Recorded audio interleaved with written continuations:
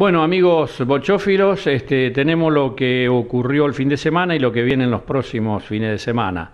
Se jugó la selección del campeonato para el campeonato argentino de la categoría trío que se va a jugar los días 5 y 6 de octubre en la localidad de Malabrigo.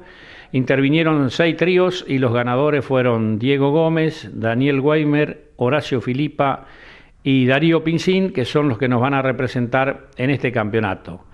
Eh, próximo domingo hay que viajar con por lo menos dos tríos hasta la localidad de Humberto Primo, donde se va a jugar el torneo Interasociaciones que hace disputar el club 20 de septiembre de ese lugar. Y al domingo siguiente, que sería 22, es el torneo aniversario de la Sociedad Ítalo-Argentina de nuestra ciudad en la categoría trío y con eso estaríamos eh, finalizando los que son los campeonatos aniversarios. Sí, va a quedar uno que va a organizar la Asociación Sajustina en fecha a determinar, que puede ser en octubre o noviembre. Queridos amigos, es todo lo que tenemos por hoy.